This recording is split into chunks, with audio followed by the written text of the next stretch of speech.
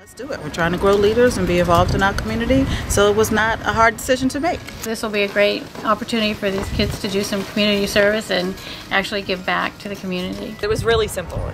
Putting out some information, making sure we did some announcements. The students really did all the work and it took no time at all for us. We sent it home for the PTA to, to advertise also, but our kids really got the word out. It really runs itself.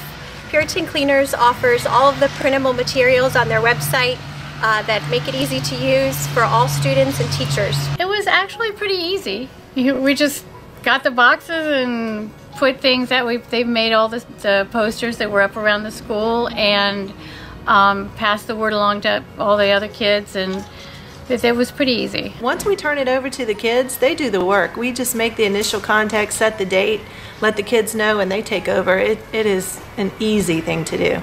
We try to advertise through announcements in the school and phone calls to the parents and flyers over the course of the following week. And then uh, after about seven days, we collect them at the beginning of school. So short and sweet, it works pretty well. It's very easy to do. It, we really took very little of our, our personal time or uh, time away from our classroom. So I'd encourage everybody to get involved next year. Very simple but powerful way for you to make a difference in the community. So I would encourage anyone who's looking for uh, ways that you can promote making a difference in your school and give kids a chance to make a meaningful impact in a simple but tangible way.